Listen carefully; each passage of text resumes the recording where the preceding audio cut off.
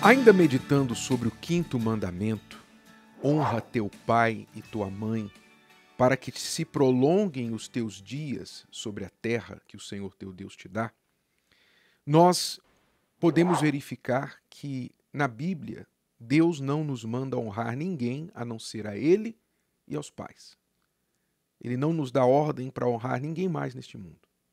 Não que nós não tenhamos, não seja correto, não seja digno em, certos, em certas situações, em, em certos momentos, você ser uma pessoa honrada e honrável. Mas eu estou falando de mandamentos. Você encontra apenas o mandamento de honrar a Deus e de honrar pai e mãe nas Escrituras Sagradas. Ora, nós sabemos, por exemplo, que o primeiro contato com a autoridade que o ser humano tem é com os pais. Quando a gente nasce, antes mesmo que a gente entenda quem é Deus, que a gente entenda quem é governo, quem é patrão, antes de a gente entender qualquer coisa nesta vida, a gente entende quem é o pai e quem é a mãe. Ou seja, é o primeiro contato que nós temos com a autoridade e a primeira forma de reconhecimento de que há alguém acima de nós. Há alguém acima de nós a quem respondemos. E este princípio é essencial para a boa formação de um ser humano. Porque o ser humano que acha que não há ninguém acima dele é um ser perigoso de fato. O ser humano que acha que não responde a ninguém ele é capaz de fazer qualquer coisa. E a história aí tem exemplos disso, entre eles Hitler, que se achava poderoso o suficiente para fazer qualquer coisa e não respondia a ninguém. Veja o que ele fez. Então, o ser humano que não responde a ninguém é muito perigoso. Por isso, Deus nos deu pai e mãe para que tenhamos um primeiro contato com autoridade, um primeiro entendimento de que há alguém acima de nós. Isso traz para nós uma formação e um poder muito grande. Esse poder entre pais e filhos, esse poder da família unida, é tão grande que, se você olhar ao longo da história, você vai ver que aqueles governos totalitários, aqueles governos absolutistas, eles procuram o que? Esses, esses sistemas de governos absolutistas, to, totalitários, eles procuram dominar totalmente os seus cidadãos. E eles, eles então, para dominar totalmente os cidadãos, eles procuram quebrar a ligação entre pais e filhos. Quebrar a ligação entre pais e filhos. Por quê? Porque se os filhos não respondem aos pais, se os filhos não têm carinho, não têm nenhum respeito, nenhum sentimento para com os pais, então eles são mais fáceis de dominar.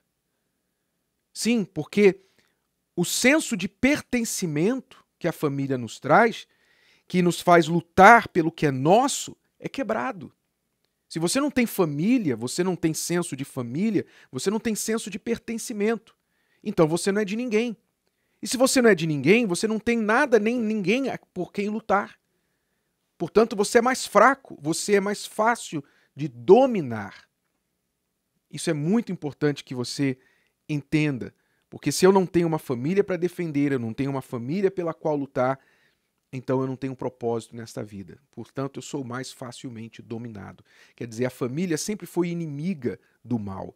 Não é à toa que Jesus disse lá em Mateus 12 e 25, ele disse assim: Olha só.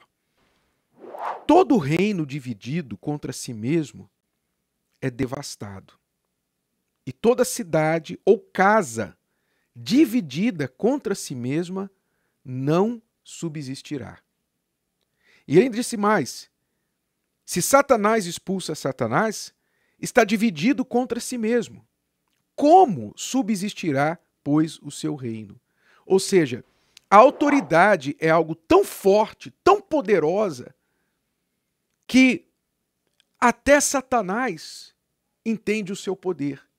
E nem Satanás luta contra si mesmo, nem os demônios lutam entre si. Eles respeitam a autoridade para que eles possam exercer o poder de destruição sobre o ser humano. Eles trabalham em conjunto, de forma organizada. O diabo sabe disso. E sabendo disso, ele trabalha para quê? Para dividir, para desorganizar, para esfacelar, fragmentar a família. Pois ele sabe desta verdade que Jesus disse: uma casa dividida contra si mesma não subsistirá. Então, é do interesse do mal que pais não honrem seus filhos, que filhos não honrem seus pais, que marido e esposa não fiquem juntos. É do interesse do mal que a família seja dividida, porque a família é o primeiro núcleo da sociedade. É a primeira forma de união, é a, é unidade básica de uma sociedade. Então, o mal sabendo disso, ele trabalha para quê? Para destruir a família. Então, o que, que você tem que aprender com isso? Qual é a lição que nós temos de tirar para isso?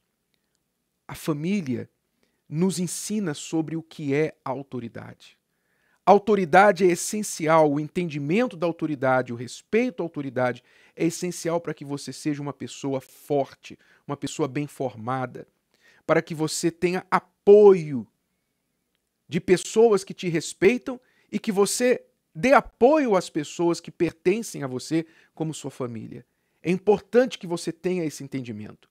Autoridade é importante na sociedade, é importante no reino de Deus, é importante na família, é importante na igreja, é importante no local de trabalho. E por isso há um movimento neste mundo para quê? Para destruir todo tipo de autoridade e noção de autoridade. Porque na ausência de autoridade, na ausência de entendimento e respeito à autoridade, o que é que prevalece? Prevalece o caos. E onde prevalece o caos, o mal domina. Entenda isso. O mal quer causar caos na sua vida. Então você, filho, é incitado pelo mal a se levantar contra seus pais, a desobedecer seus pais.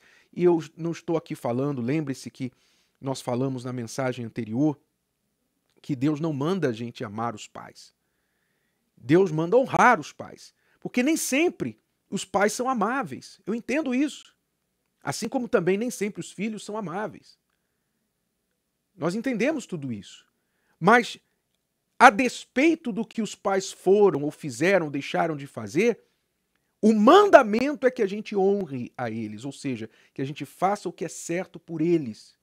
Faça o que é certo, de, merecendo eles ou não, sendo eles amáveis ou não, que nós venhamos honrá-los, fazer o que é certo por eles. Ou seja, o que, que eu devo a eles?